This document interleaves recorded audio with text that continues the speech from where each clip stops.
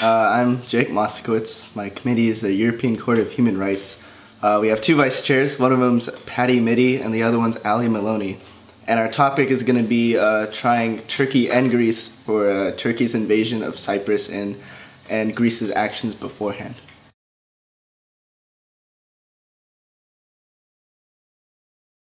Um, I picked this committee because uh, there's a lot of court cases out there, and I felt this one was one of the most two-sided ones where uh, the answer, the, the jurisdiction is not as clear-cut, and I think that makes for a really, really solid debate. There's no other committee like us. There's no other court committee in BMUN. There's no committee where we get to bring in other members that get to be witnesses and interact with the delegates, and it's one of the best sources for debate, which I think is one of the foundational uh, aspects of BMUN.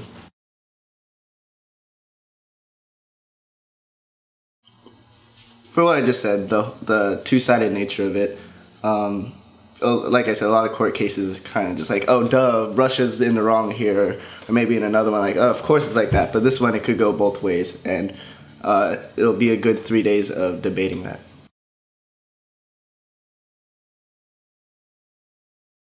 The interesting plans will be a combo of the witnesses we decide to bring in and whatever character they bring to committee as well as a few um, mini lectures, I think, that will be centered around the whole topic of international law that I think will be very interesting for the delegates to hear.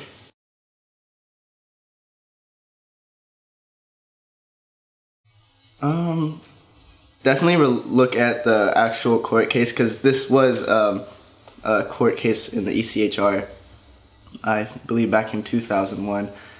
But go beyond that get your own uh, analysis of evidence, find new sources, find things that were not even considered in the actual court case, brush up on some international law, some UN charters that could play into this, and really take this beyond what even the ECHR did in reality.